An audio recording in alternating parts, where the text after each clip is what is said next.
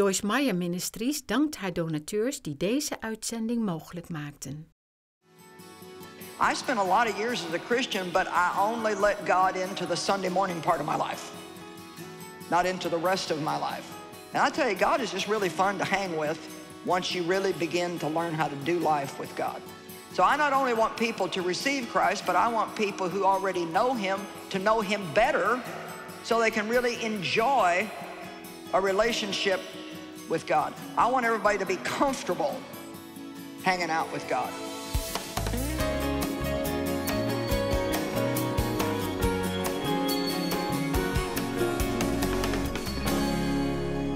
I got about 10 different names of God that I want to teach on this weekend. My purpose being that a name tells you something about a person. So we find there's literally hundreds of names of God, which are basically ways that he's referred to in the Bible, but many of them are capitalized as if they're actually a name for him. Like one of the ones we're going to talk about today is Jehovah Elyon, the Lord Most High. And that's all capitalized when you see it. So it's not just a statement, but it's saying that God is above everything else.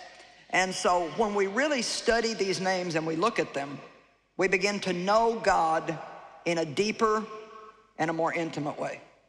And the point that I wanted to make is that anybody who really knows God could not possibly not want to have a relationship with him. And then we also have a category of people that do have a semi sort of kind of relationship with God. And what I mean by that is they may have a religious relationship with God where they do believe in God. They may have even said, yes, I believe that Christ died for me. Uh, could even be someone that because they believe in Christ will go to heaven.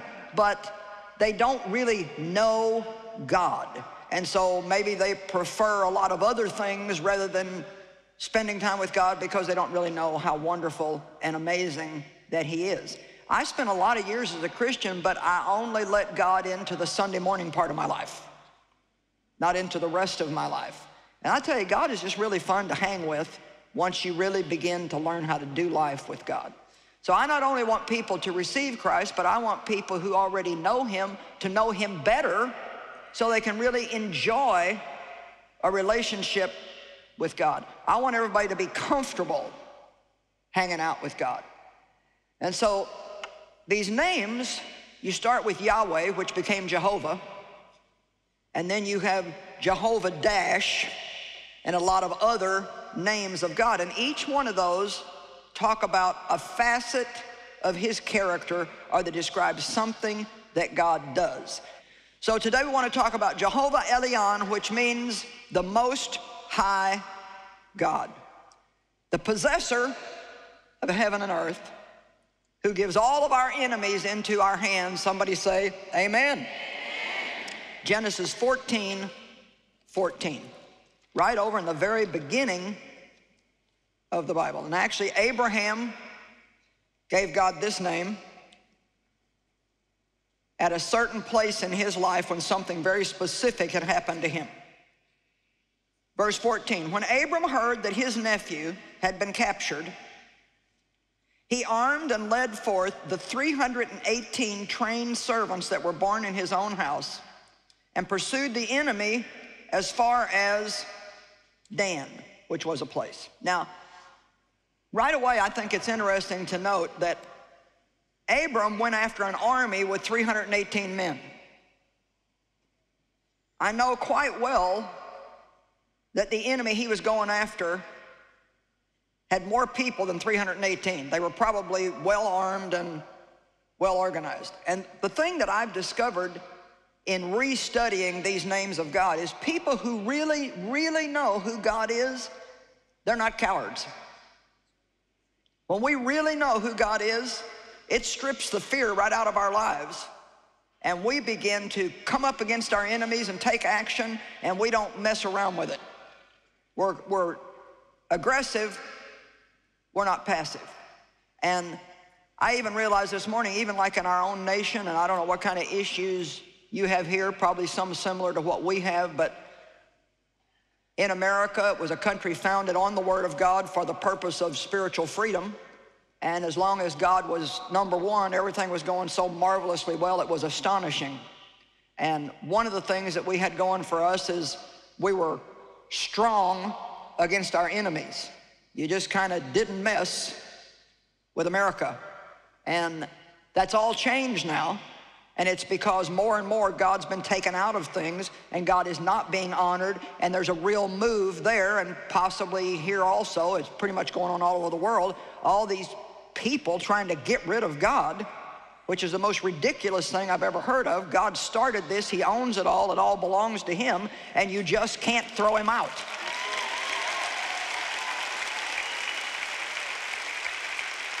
But it seems like now, the more God is withdrawn from things, the less bold we are, the less brave we are, the more we put up with stuff, the smaller we're letting our armies become. And so I think there's a real connection not only for nations, but for us as individuals. God has not given you a spirit of fear, but of power and love and a sound mind. Amen? And we are not created by God to be cowards and cower under everything. Even as far as what I said earlier about how many of you really have an issue with being a people pleaser. That's even based in fear. We don't want people to be upset with us. We don't want them to be unhappy with us. We, we want everybody to like us. And sometimes we just need to be bolder and say, I would rather have God's favor than yours and I'm going to do what God wants me to do and what I believe He's telling me to do because I would rather have a good reputation in heaven and a bad reputation here if that's what I got to have.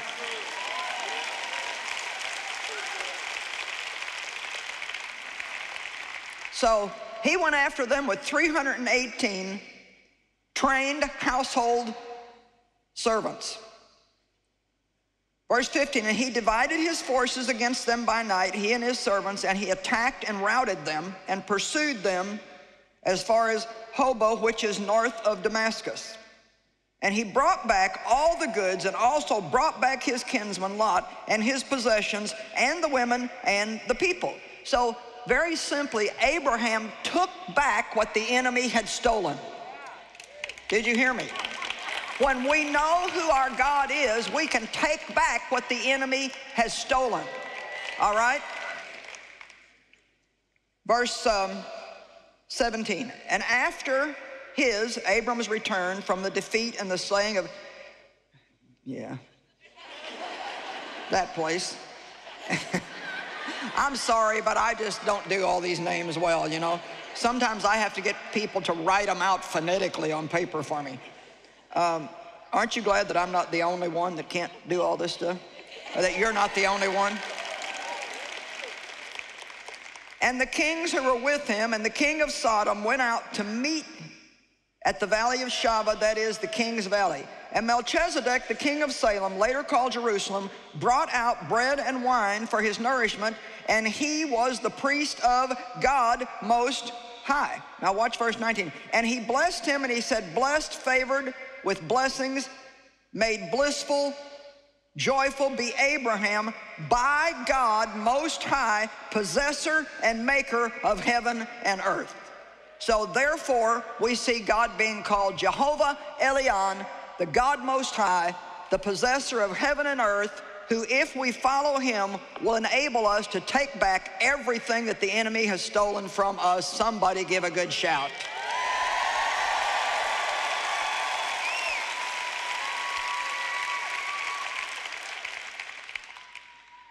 Sometimes do you feel like you're outnumbered in life? like everything's too much for you? Think about going after an army with 318 people. And you're about to see something here in Judges with Gideon that is equally amazing. Judges chapter 6, verse 1. But the Israelites did evil in the sight of the Lord and the Lord gave them into the hand of Midian for seven years. So Israel was not doing what God asked them to do. And to be honest, any time that we don't do what God asks us to do, we only hurt ourselves. We actually open a door for the enemy in our lives. Submit yourself to God, resist the devil, and he will flee. You can't just resist the devil. You need to submit yourself to God, and in doing that, we actually automatically resist the enemy. Now, none of us are perfect, and thank God for Jesus when we're not, but there's a difference in making mistakes and doing things wrong when you don't have knowledge. It's another whole level when you have knowledge and you do know what you're doing and you do know that it's wrong and you just keep doing it thinking that you're going to get by with it. Then out of his great love and mercy, God has to deal with us because if he didn't, he wouldn't really love us. Any parent who would let their child go run out in the street and kill themselves and not correct them certainly wouldn't love them. And so God chastises those whom he loves. Those whom he delights in, he chastises. And Revelation says that those whom he dearly and tenderly loves, he tells them their faults. Well, I remember thinking one time, God, maybe you're loving me a little too much because I just feel like about 20 times a day I'm seeing something else wrong with me. So they got themselves in trouble. They lived in bondage for a good number of years.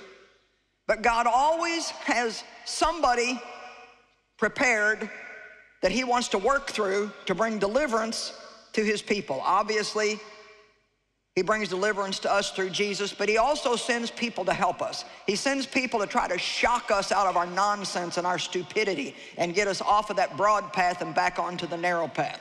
God used some people like that in my life, and I hope and pray that he can use me like that in some of your lives even today. So God found a man named Gideon, and he said to him in verse 12, and the angel of the Lord appeared to him, him being Gideon, and said to him, the Lord is with you, you mighty man of fearless courage. Now you're going to be interested to see that God saw Gideon totally different than Gideon saw himself, which is usually the case. If any one of us could see how God sees us and sees what we're really capable of, See, most of you have no idea what you're capable of. You, you probably don't understand that it is ridiculous for me to be doing what I'm doing. Because in all truth and honesty, I don't have the ability to do it. I don't have the education to do it. I don't have the intelligence to do it. And yet, when you clothe yourself with God,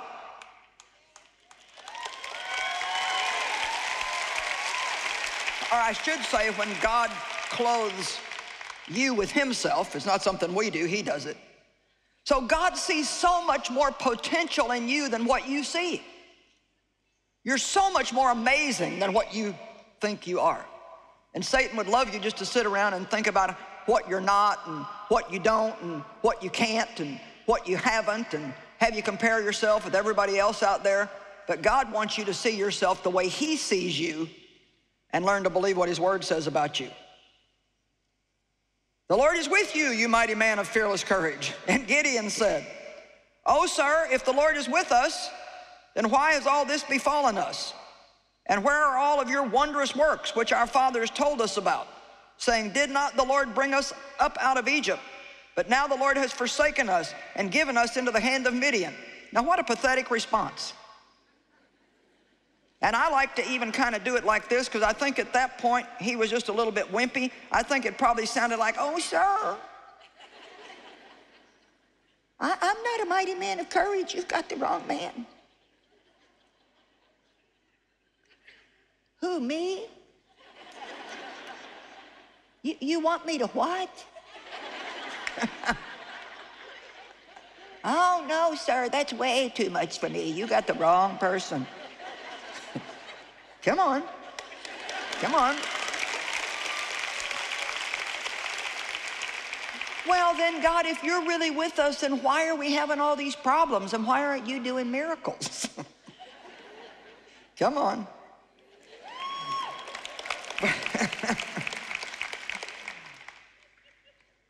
Well, mainly because God doesn't want to have to come and deliver us from everything without us doing anything. He'd like us to stand up against a few things and say, if God be for me, who can be against me? If God is on my side, whom shall I fear? You know, we can't just sit around somewhere and say, God, we need a miracle. Give us a miracle. You know, I have a message that I teach called Roll Away the Stone, and I love that message because I noticed about four or five years ago that when Jesus went to the tomb of Lazarus, who had already been dead so long he was stinking, already knowing that he was going to raise him from the dead, he walked up to that tomb, but he said to the people, roll away the stone. Now, if he was getting ready to raise a dead man, why did he need people to roll away the stone? Because God wants us to do what we can do, and then he will always do what we can't do. Some of you need to roll away some stones in your life, and when you do, you will see the resurrection power of Christ doing the part you can't do. You say, well, what, what would those stones be? Well, you might, might try forgiving all the people you're mad at.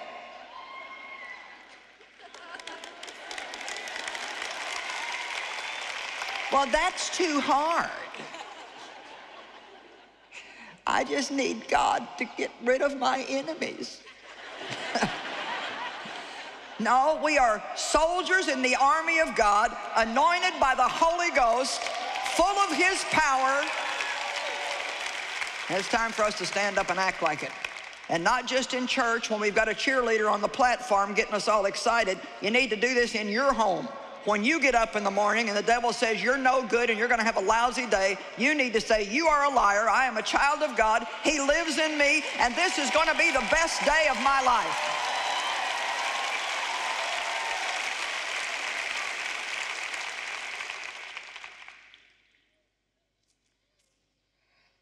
So after that discourse by Gideon, God didn't give up. The Lord turned to him in verse 14 and said, Go in this your might, and you shall save Israel from the hand of Midian. Have I not sent you? And Gideon said to him, O Lord, how can I deliver Israel? Behold, my clan is the poorest in Manasseh, and I am the least in my father's house. Isn't this sad? He's just not giving up. And the Lord said to him, Surely I will be with you, and you shall smite the Midianites as one man. And so then Gideon said, Well, if this is really you, then give me a, a sign. And so God did. He ended up giving him a sign. And so we talk about the fleeces of Gideon. And yes, sometimes God will give us confirmation, but I love the scripture that says, Blessed are those who believe and have not seen. God wants us to know him well enough to not have to need proof that he's there. Did you hear me? God wants us to know him well enough to not have to have a bunch of signs, outward things happening. If you haven't heard anything from God in five years, then just keep doing what the last thing was you heard. And when God wants to say something, you don't need to worry. He knows how to make himself known. Amen? And I know it's hard, you know, because God is invisible and he can't be seen. You know, we need him to do stuff. We want him to do stuff. But it's like I said last night, I think sometimes we're looking for these great big things and we don't see them happening. And we really need to look for the little things in our life that really would build our faith to such a degree that nobody would ever be able to convince us that God's not going to do the big things at the right time. Every one of you, let me tell you something. I believe that God shows out in every one of our lives every day if we would just learn to recognize Him and see Him. Amen? And so we need to stop looking at what we don't have and look at who we do have. I want to say that again. Stop looking at what you don't have and look at who you do have. Judges 6:34. But the Spirit of the Lord clothed Gideon with himself and took possession of him, and he blew a trumpet, and the clan of Ebenezer was gathered to him. So God sent Gideon to do something that was impossible, but it became possible when the God Most High, the possessor of heaven and earth, clothed Gideon with himself. Let me tell you something. Many times before I come out here, I just ask God to throw his mantle around me and enable me to come out and do what he wants me to do.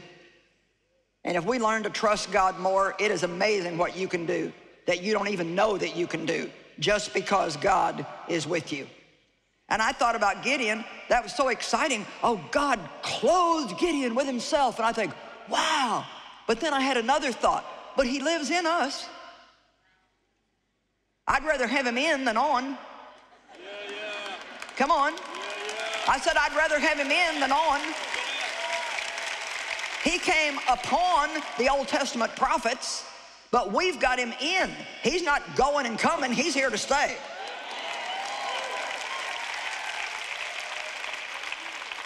He is Jehovah Elyon. I love the scripture in 1 Samuel 14, 6. It doesn't matter to God if he saves by many or by few. Does not matter to God if he saves by many or by few. Let me tell you a little story that helps get this point across. Back in the very early days of our ministry, when I was having little meetings all around St. Louis, totally dependent on God. By then, Dave had quit his full-time job, and so we, you know, God had to show up, you know. Not only did we have to pay for the expenses of the ministry, but our whole salary that we needed came out of that. And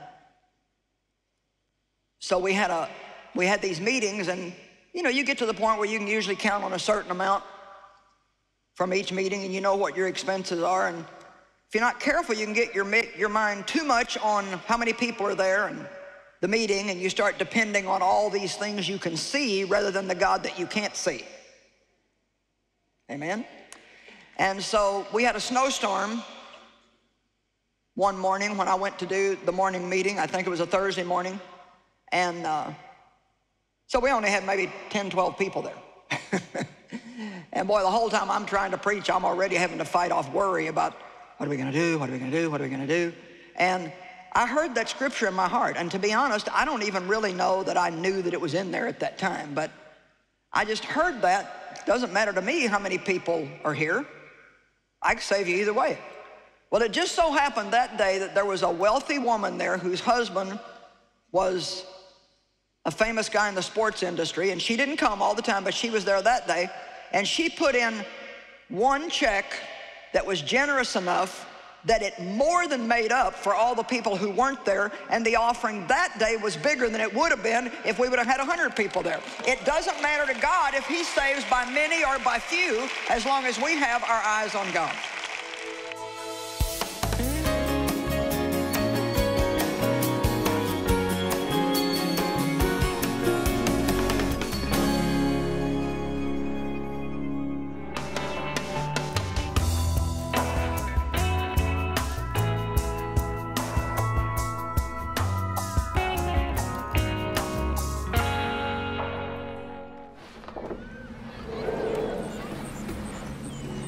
Un unfortunately, in a lot of our communities around here in South Africa and this region in KwaZulu-Natal, um, the abuse, the sexual abuse, uh, the physical abuse of as well, uh, is quite horrendous. Even in the area, we, was, we were scared for the kids. It's heartbreaking when they're missing. I'm not going to let that happen. That's why I'm fighting for this area. Some of the children in this area mm -hmm. have disappeared? Yes they did. What we never found them. Before we open up this crèche, they are safe, healthy, good.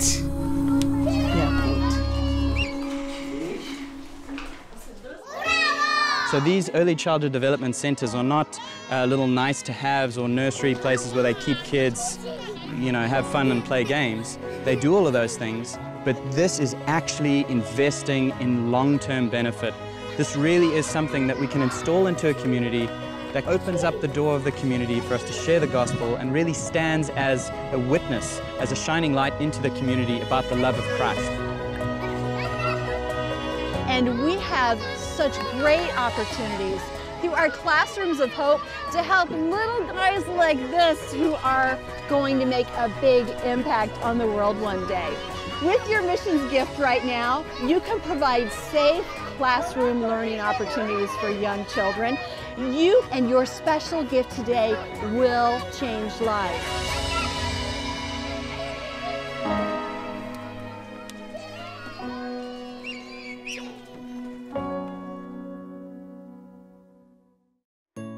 You know, the Word of God teaches us that if we are willing to share what we have, God can multiply that and make it into a lot more than what we started with.